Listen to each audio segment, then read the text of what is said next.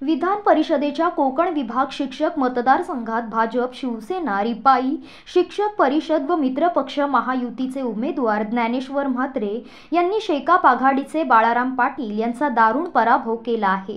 त्यामुळे शेकापसह महाविकास आघाडीला मोठा धक्का बसला आहे. या निवडणुकीत एक्क्याण्णव पूर्णांक दोन टक्के मतदान झाले होते. मतदान झालेल्या एकूण पस्तीस हजार एकोणसत्तर मतांपैकी तेहतीस हजार चारशे पन्नास मते वैध तर सोळाशे एकोणीस मते अवैध ठरली आहेत. मतमोजणीत भाजपचे ज्ञानेश्वर म्हात्रे यांनी पहिल्या पसंतीची तब्बल वीस हजार सहाशे त्र्याऐंशी मते मिळवून दणदणीत विजय मिळविला. तर पराभूत शेकापच्या बाळाराम पाटील यांना केवळ दहा हजार नऊशे सत्त्याण्णव मतांवर समाधान मानावे लागले. ज्ञानेश्वर म्हात्रे यांच्या विजयानंतर महायुतीच्या कार्यकर्त्यांनी एकच जल्लोष केला होता.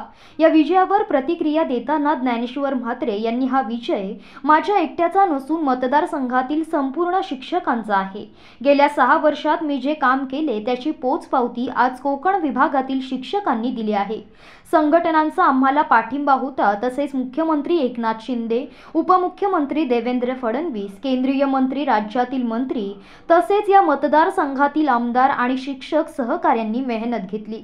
त्यांचा विश्वास सार्थ ठरून शिक्षकांसाठी सातत्याने काम करीत राहणार असल्याची ग्वाही दिली. दरम्यान या विजयाबद्दल राज्याचे सार्वजनिक सार्वजनिक बांधकाम मंत्री रवींद्र चव्हाण माजी खासदार लोकनेते रामशेठ ठाकूर भाजप रायगड जिल्हा अध्यक्ष आमदार प्रशांत ठाकूर आमदार महेश बालदी यांनी नवनिर्वाचित आमदार ज्ञानेश्वर म्हात्रे यांचं अभिनंदन करून त्यांना पुढील वाटचालीसाठी शुभेच्छा दिल्या आहेत.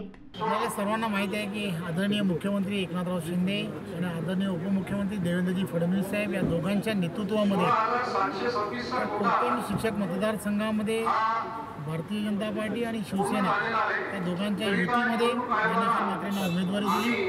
आणि त्यानंतर एकतीस शिक्षकांच्या असणाऱ्या विविध संघटनांनी ज्ञानेश्वर म्हात्रे यांना शिक्षकांचा आमदार शिक्षक असला पाहिजे यासाठी त्यांनी सर्वांनी पाठिंबा दिला. आणि प्रत्येक संघटनेतील असणाऱ्या कार्यकर्त्यांनी मग तो शिवसेनेचा असेल भारतीय जनता पार्टीचा असेल त्याचबरोबर या शिक्षक संघटनेच्या असणाऱ्या प्रत्येक कार्यकर्त्यांनी अहोरात्र मेहनत घेतली. प्रत्येक शिक्षकांपर्यंत पोहोचले. आणि त्यामुळे तुमच्या लक्षात येत असेल की या ठिकाणी जवळजवळ ब्याण्णव टक्क्यापेक्षा जास्त मतदान झालं. आणि हे मतदान ज्ञानेश्वर म्हात्रे यांना कोणत्याही परिस्थितीमध्ये जिंकवून आणायचं आहे.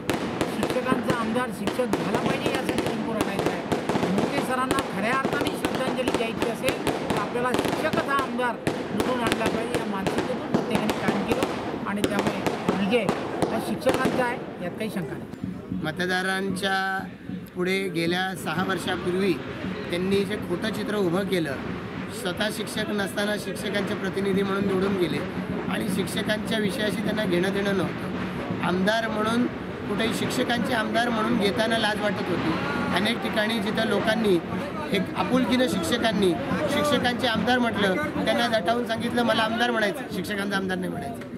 या पद्धतीनं वागणाऱ्या व्यक्तीला कुठं ना कुठंतरी शिक्षकच अशा पद्धतीची शिक्षा देणार होती. ती आज दिली प्रचंड ताकदीनं दिली आमचे नेते रवींद्र चव्हाण साहेब यांच्या नेतृत्वाखाली संपूर्ण पालघरपासून ते सिंधुदुर्गापर्यंत भारतीय जनता पार्टीचे विविध नेते असतील बाळासाहेबांचे शिवसेना पक्षाचे विविध नेते असतील आर पी आयचे किंवा अन्य सर्व राजकीय पक्षाचे नेते असतील विविध शिक्षक संघटना असेल सगळ्यांनी मिळून प्रचंड जोमानं जे काम ज्ञानेश्वर म्हात्रे सरांचं केलं वामन शेठ म्हात्रे किंवा त्यांच्यावर त्यांचे सर्व सहकारी यांनी कोकणामध्ये सर्व ठिकाणी कोऑर्डिनेशन करून हा विजय संपन्न होण्याच्या दृष्टिकोनातून जे प्रयत्न केले त्याला हे यश लाभलेलं.